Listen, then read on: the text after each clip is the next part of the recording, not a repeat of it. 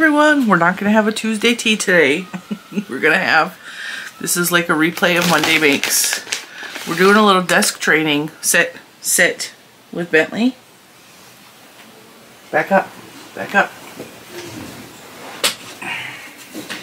Trying to get him to get used to sitting in this chair so he can be in more videos or at least he likes sitting on or in things and he don't have a doggy bed because no other dog I've ever tried to have a doggy bed would use a doggy bed. What? There's pit beef left in there, and we have biscuits. I would love that. I don't know how to make the gravy though. All right, well, let me finish recording. All right. Uh-uh, sit, sit. It's the day after Christmas I'm recording this. Bentley, focus.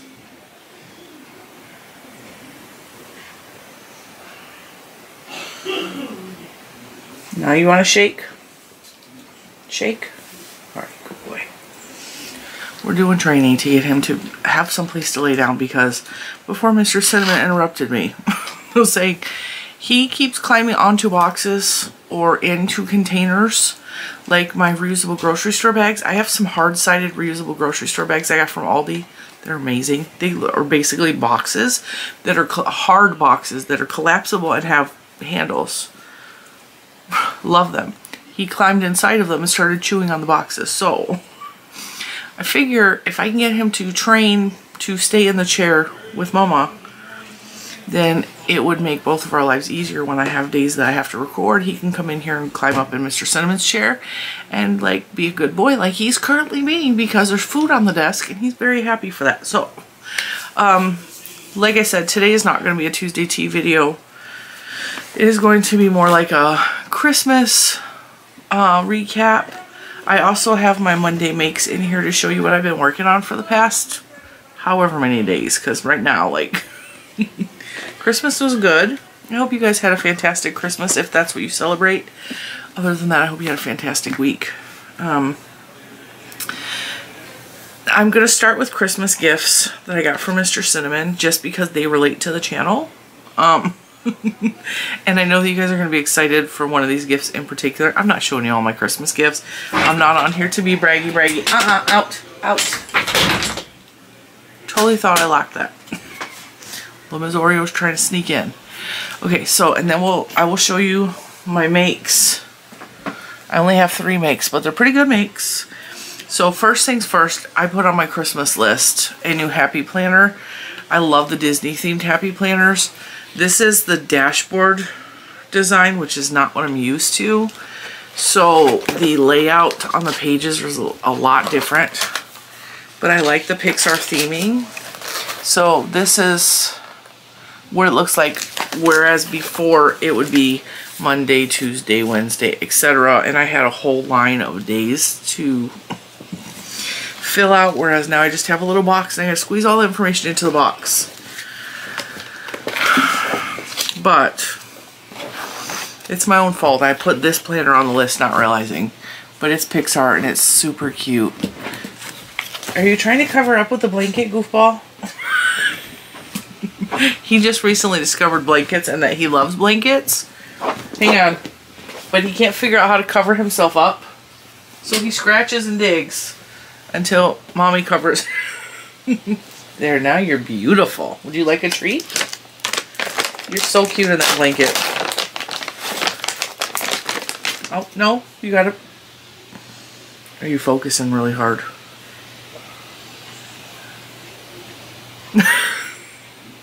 you a good boy? There you go. Right, there's your blanket. I was hoping he wasn't going to be a blanket covering dog. Scarlet has to be covered. Oreo does not care to be covered unless she's really, really cold. But it is what it is.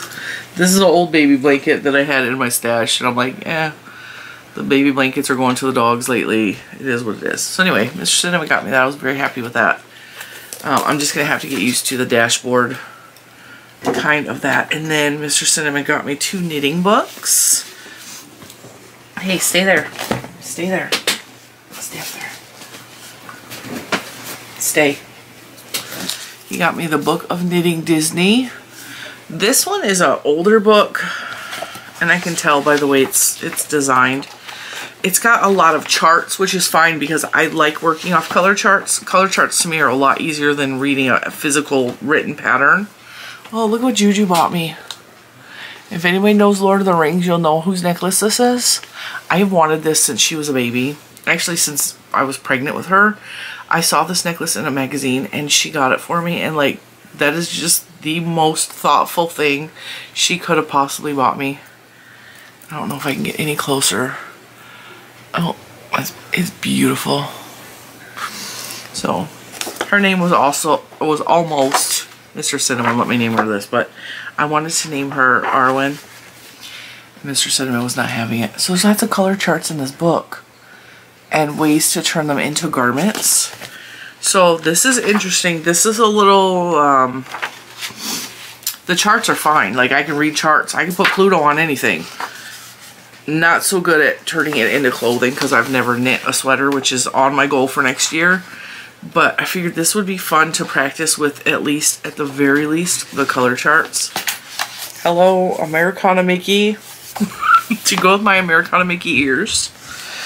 So, yeah, this is a neat book. And then, what a good boy. He got me this one, which is splendiferous. And I already have the first pattern I'm going to make out of this book. If I can find it. It is um, the magic carpet from Aladdin. Which, if you guys don't know, I love Aladdin. Aladdin is one of my favorite Disney movies. And I know I really have not told you guys that information before. but um, when I was a teenager, Aladdin came out. Here it is. Here it is. And it's got a very long pattern to go with it. It's a throw blanket, but it's the carpet for it's the it's the rug. It's the magic flying carpet. So I need to make that. Um, Aladdin came out when I was a teenager, and I it was really one of the first Disney movies as I was becoming an adult that I just absolutely was enamored by. I love Aladdin. I used to also rent, we used to go to Blockbuster and rent video games for my sister's boyfriend's Nintendo system, which was always at our house because he was always at our house.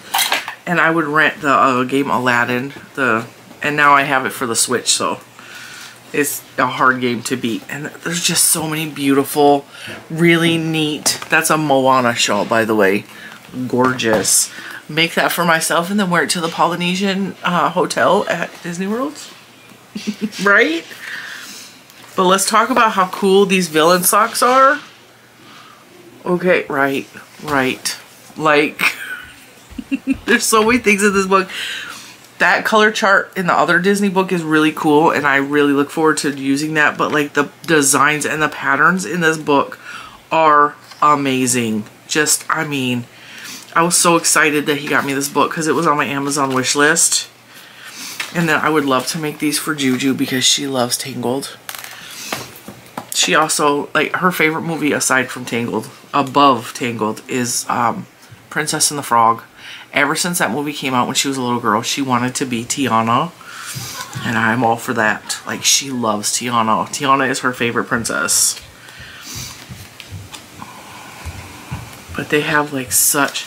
The Colors of the Wind cowl from Pocahontas. If you're a Disney fan, this is the book for you. And you, of course, if you knit.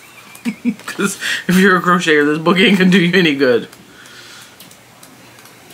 So yeah, there's just amazing patterns in that book. He also got me part two of the Garth Brooks anthology. Now I have all three of those set. I don't have room on my desk. Ugh. Almost having an avalanche. Now, another thing I got for Christmas for Mr. Cinnamon. If you guys recall, if you've been around for a long time, this is where I keep my hooks. Okay, this is a, uh, a twirly thing that I got for I think $15. Yeah, exactly. It's got the price tag on it. From Tuesday morning. You can buy stuff like this on Amazon for about the same price. But it's got a Lazy Susan on it. Um, the problem is the holes are kind of small. And so I was limited with how many of my bigger hooks. Because you guys know, I use... I either use Furls hooks. Or I use the Omi hooks or I use the furls hooks. So, um, it was just not, there's not enough room for all those big fat handles in there. So this is going to be scissors, um, ink pens, etc. Because Mr. Cinnamon made me a fantastic gift. And if I can pick it up and show it to you without colla collapsing everything onto the floor. This is from my niece Hermione. I can't let it play the full song, I'll get copyrighted, but... And then I got my little cup for my advent calendar. Mr. Cinnamon made this for me. I saw something like this similar on Amazon that looked very cheap. It looked like it was made from balsa wood.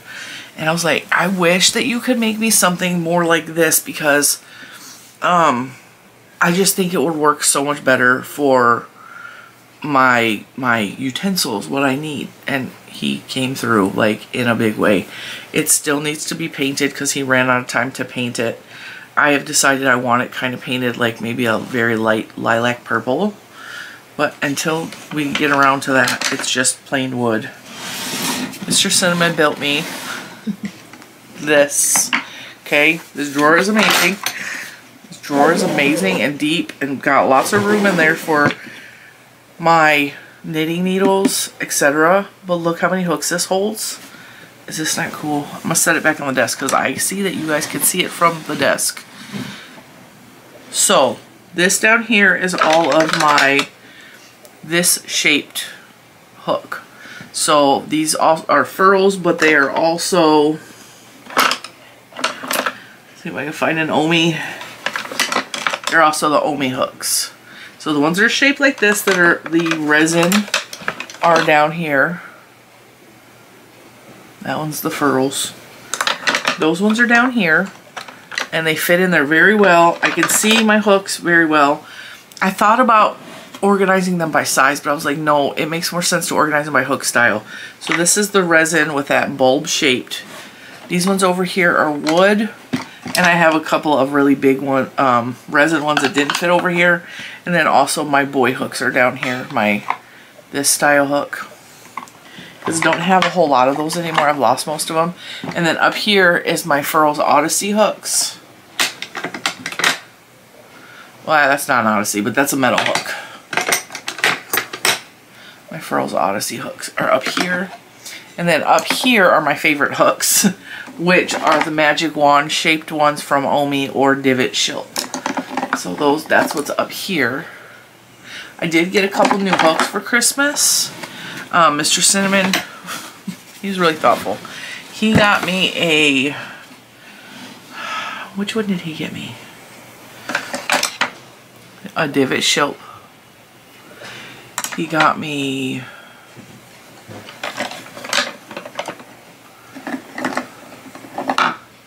trying to remember. He got me. What else did he get me? Oh little man. That ain't it see if I can find it. Little man got me an Odyssey for Christmas, which was very, very sweet of him. And then, what was a third hook? Oh, he got me, he got me a Furls Alpha hook, which I'm not a fan of. But I'm not telling him that. It's beautiful, but I, I did a very bad review on these hooks. It's beautiful. Um, don't, I don't recommend these hooks, but it's beautiful. So now I have the blue and the purple one. They're they're really really short. They're like really short. They're even shorter than like a regular Boye hook. So because I have really big hands, it hits me here. And they're not real comfortable to crochet with. And the one that I purchased myself um, this part is way, way too sharp. And when I pull it back through the stitches, it snags and it splits my yarn every time. So it hangs up a lot. So that's why I gave this one a negative review. They're beautiful. They absolutely are. And this one's not nearly as bad as this one is, but, you know, yeah. So. They even, they downgraded the packaging, which I found strange. Like, it, it was foam inside. Now this one's got nice foam. I don't know what that was about, but, so yeah. He also got me some Tulip Etimo hooks, which I didn't think I would like these because there's no throat at all right here. Like, but I practiced messing with, I crocheted last night with them. I did a swatch with all of my new, my new hooks. And these actually aren't bad. They're really short, so again, they hit me here. Um, but they're not bad hooks. They're not. They're, they have, I like the way they feel. They feel really soft and smooth. Um, and I thought I would have, a, if you guys look, there's like no throat at all there. But the the cut in here helps grab the yarn so I didn't have a problem with not being able to grab the yarn and pull it through. So it's just gonna take some getting used to because I'm used to longer hooks and you know but I have no problem trying to get used to something new that's you know.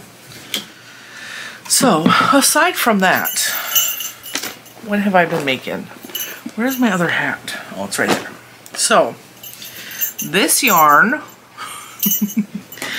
is yarn I got from a thrift store for 50 cents. It is the Sayelle yarn, and I know that the label is on my desk somewhere because I saved it. It's the Sayelle ombre yarn. Um, some of you had told me it's from the 70s, so it's older than I am, this yarn is. Believe it or not, look how vibrant that is for being older than I am. This is why I like the older yarns. Um, it was it's not soft. It's not soft, so I use Premier Yarn for the brim because none of this part touches my skin. So um, I didn't have a problem working with it. Well, yes, I did. I got a little bit of a, a little bit of irritation from it rubbing.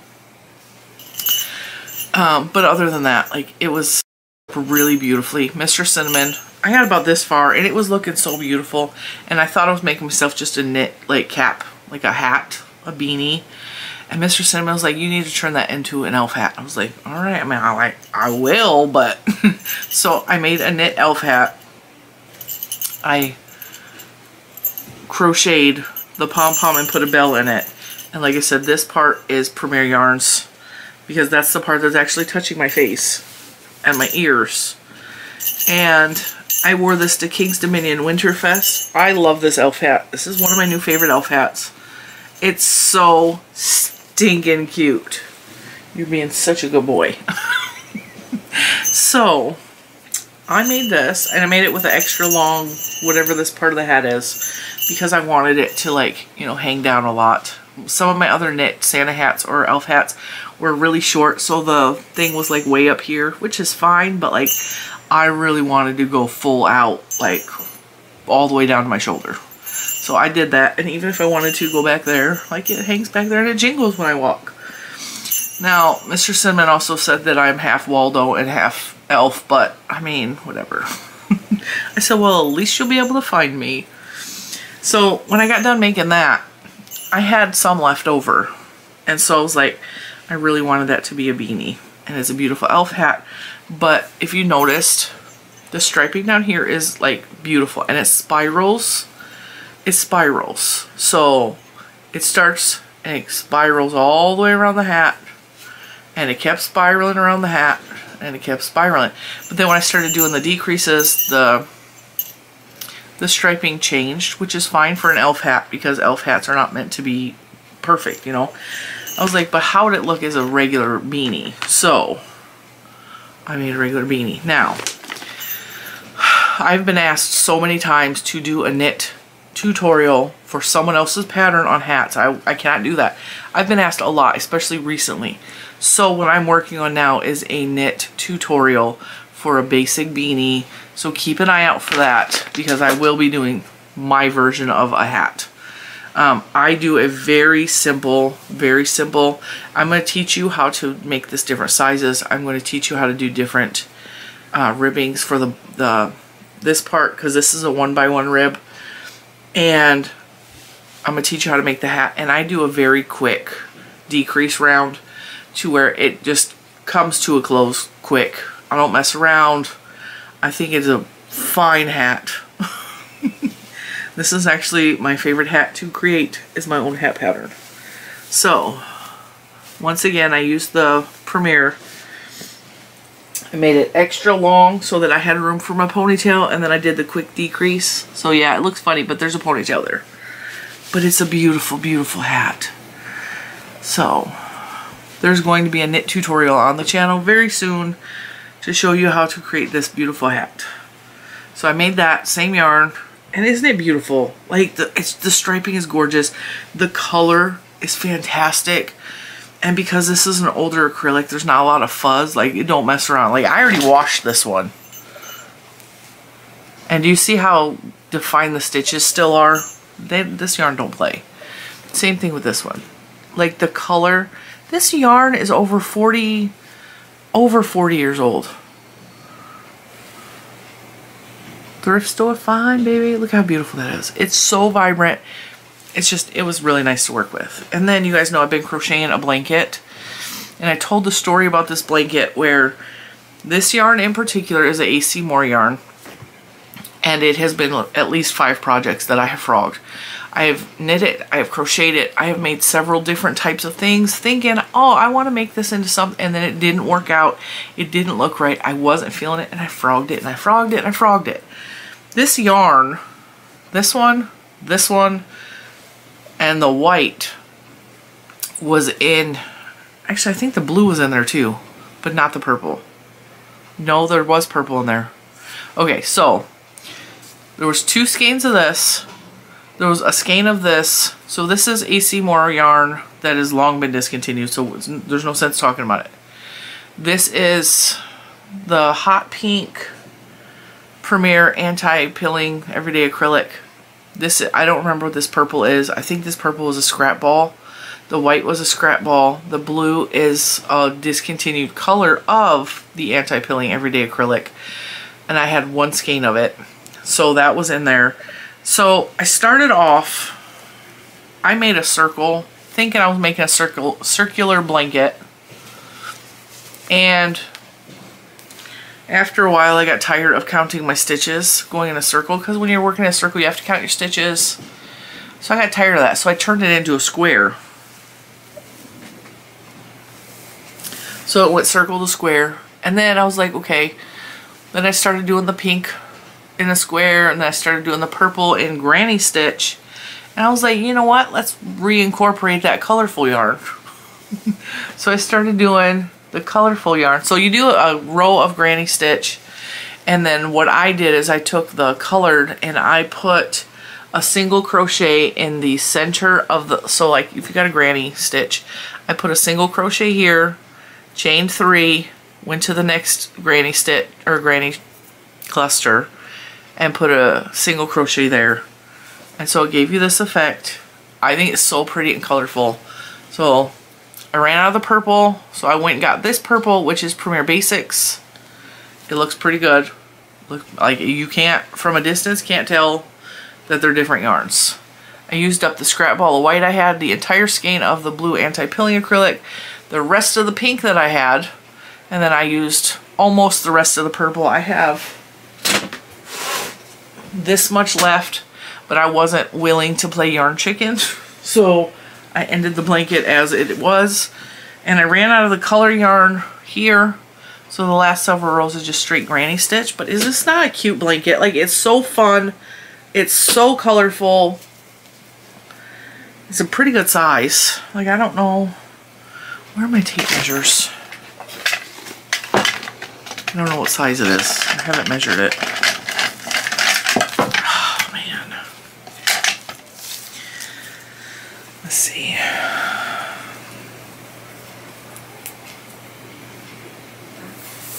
So this is going to go into my bucket of baby blankets that I'm keeping on stash. It's 43 and a half inches squared, so it's a good newborn size blanket. And if I want, I can always come back in later and add more colors to make it. I don't think I want to. I think it's a really good size blanket. And it's a lot of fun and it's cute. So, that's what I've been working on. That's what I've been making. That's what we've been doing. Um, yeah. So I was a day late because I was tired from Christmas. Christmas was a very, very long day. It, the kids had an amazing Christmas. They, um, little man was, he had a rough couple of days before Christmas. Like, I mean, rough. I think there's just too much excitement going on. There was too much stimuli in the house. And he was in, he was in a bad mood. He was in a really horrible, rotten mood for several days. And you try all the things like Santa's not going to bring you any presents knowing darn well there's no way I'm going to keep him from having a Christmas because he's having a bad couple of days. I know that it's a sensory thing. I know that like when there's so, that much going on in the house, like he has a really hard time controlling himself. I understand that, but man, it was rough on mommy and it was rough on Lucas. And so Christmas morning, he woke up at 4 a.m. mad at the world because he was over he doesn't sleep real well and when he doesn't sleep he's there's like this fine balance with him there's all his sensory issues but then he has a real problem with sugar. So if there's too much sugar in his system he gets very aggressive. And then um, if he doesn't get any sleep he's very mean and cranky and ornery which is true for all of us right? But because of his his issues like it is amplified. Because he does not know how to express himself. And so there was issues. I'm not gonna lie, it was rough. And um, 4 a.m. he woke up and he went downstairs and he saw the Santa came and he was very excited, but he was exhausted because it was 4 a.m. and he only slept like five hours. so I told him, I was like, you have to go back to bed. He was not happy. He started yelling and throwing stuff and just so yeah. So Mr. Cinnamon went laid in Little Man's bed and Little Man came and laid with Mommy because that's how I got him back to sleep is like making him lay next to me. We ended up sleeping until just after 8. He woke up a different child. he was angelic he came downstairs. We gave him his medicine first thing in the morning. Gave him something to eat with his medicine. He wanted a pepperoni sandwich, which I was perfectly happy to give him because it gives him the right kind of sugars to sustain for a little while. And it gives him the protein that he needs to help digest the medicine. I mean, the protein just really gives him energy without giving him sugar, you know. So, pepperoni sandwich it was. He ate three quarters of it exactly because he had exactly one quarter. He like ate it uh, in a square. It was weird. it was like the bottom corner in a perfect square, which I gave to Bentley. and then we open presents and um, if you watched the Christmas episode, I think it, well, one of the Christmas episodes, I talked about how we open one gift at a time per person. So, like, we all get to see it lasts a longer time. It's a really enjoyable experience. And so, little man got bored about halfway through. He got his good gift and he took off to his bedroom to, to play with it. And he missed the whole second half of us opening gifts, which is fine because keeping his attention span that long was a miracle anyway. and we sat and had a quiet opening presents, the adults. Well, Juju, Juju's might as well be an adult. She's 17. So it was really nice. They all had a nice Christmas. And I felt like it wasn't about anything monetarily. I just felt like this year the gifts were really well thought out. The fact that Juju got me this necklace and I was telling her how her name was almost Arwen, Arwen and how like she just recently discovered Lord of the Rings. I got her the book series so that she can read the Lord of the Rings books. She got me this, which is I've wanted this for so long, and I didn't even know they still made it because like I discovered it, like I said, when I was pregnant with her. so it was really a well thought out gift. And then my niece Hermione got me this beautiful Christmas ornament from Hallmark and it was a well thought out gift. And the reason that is special is because she has never been able to buy presents for us. Um, when they lived here when they were younger, we would make sure that she bought her mom a gift, but it was never forced for her to buy anyone else but for her mom or maybe her sister. And so she's never really done Christmas shopping by herself until this year. And she really thought about the person and thought about the gift. And it was really touching to see that. So I'm going to treasure that because it's basically like her first Christmas doing for others. It's a big deal. it's a big deal. Um, and Mr. Cinnamon making me that box was fantastic. And Little Man getting me a, a hook, which coordinated with this cool hook thing that Mr. Cinnamon made. It was just a really nice Christmas. It was really nice that everyone thought out the gifts, you know. Um,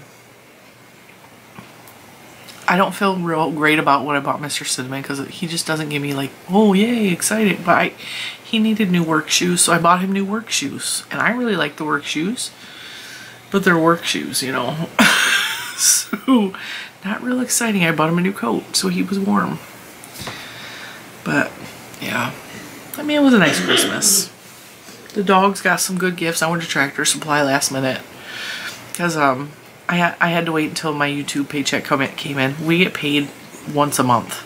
We get paid around the 20th. And so I had to wait for my YouTube paycheck to get deposited. And it was a day late. So I was like, I needed groceries. I needed to fill Juju's stocking because Juju filled everyone else's stocking. She asked to do the stockings. This was in my stocking. She put candies in there and like she got a really nice ink pen for Mr. Cinnamon for work with his name on it. It's really a nice pen. So she really thought that through, you know. She had fun doing the stocking stuff. So I was left to do her stocking. So I was like, okay, well I gotta wait till I get paid. And then I like to get the dogs treats for Christmas, which is what Bentley is eating, that he loves these so much. They smell so strong of dog. It says Yapple Bananas, which is supposed to be apple banana flavor, but they smell very strong of like liver. But as you could tell, like he perked right up as soon as I touched it. So went to Tractor Supply. You're gonna fall off the chair. Stay. No. No. No. No. No, Bentley. Stay.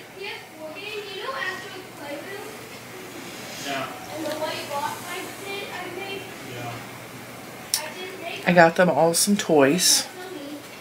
I got them all some treats. No, I did not give you permission yet.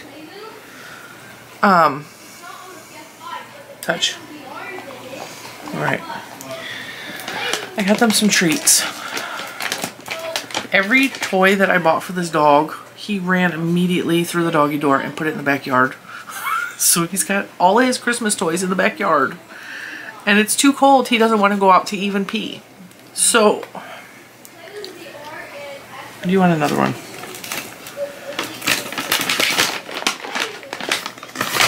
You guys shake on this one. Shake. Shake. Okay, I have this one now. Shake. You're gonna give me the same one again? That's fine. So, the dogs love these treats. They were kind of expensive, $6.99. But like I said, I went to Tractor Supply and got what they had because I did not want to go to another store. Um, I usually buy like treats and toys at Dollar Tree because my dogs destroy their toys so quickly. Um, Dollar Tree hasn't had anything for the pets lately. And I have three Dollar Trees by me, and they have been like non-existent for dog treats, for toys, any of that. so I went to Tractor Supply. Probably spent too much, but they had some good toys that they like to play with. That I got them some Kong toys also because, like I said, my dogs are destructors. Like, especially this one because he's teething, and Scarlet because she's got a big jaw. so Oreo will. I, I bought them. Hey, leave that alone. That's not yours. I bought them um, a lot of balls. They got a lot of balls. They like the balls. But both, well, actually, all three of the dogs like to peel the green part off the tennis balls. So that was fun. Um, and Scarlet, I had to get her an extra big one because she chews and then the ball like falls apart in her mouth because she she got a big jaw. And um, I love you. Uh, what else did I get? Them? Oh, I got them. Like I said, I got Kong toys. So Kong balls, and then um, a bone with like teeth in it for him to chew on because he's teething. Thank you. Now I get the other one. You're gonna chew on my finger. You want another snack? This dog is very food enthusiastic. So training him is easy as long as I have food because he just absolutely loves food. Have a kiss? Kisses? Right here. He's like, nope, I want food. Sit. No, sit. Stay. I don't want that. I don't want that. No, stay. Focus. Focus.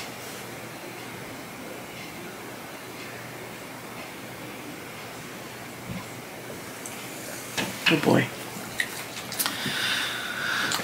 We had to work on his leash training the coming two weeks because he needs to have more leash training before we go back to his training class, which is hard because it's so cold outside right now, but it's going to be in the 60s. It's been negative zero. It's been below zero here for a couple days now. Um, can you sit, please? Sit. Bentley, sit. Sit. Thank you. It's going to be up in the 60s on January 1st, so, I mean, we're going to be spending some outdoor time. Stop, that hurts. Stop. Ah. No more. All gone. All gone. So I'm gonna let you guys go because he's gonna he actually needs to go have his breakfast instead of all them snacks or he's gonna keep scratching me because he's a fatty and I need to go have breakfast myself because Mr. Cinnamons in there cooking bacon and we're gonna have some leftover cheesy potatoes from last night. I don't have any more goofball. It's all gone. And from me and Benny Benny Boo Boo, we will see you in the next one. Bye guys.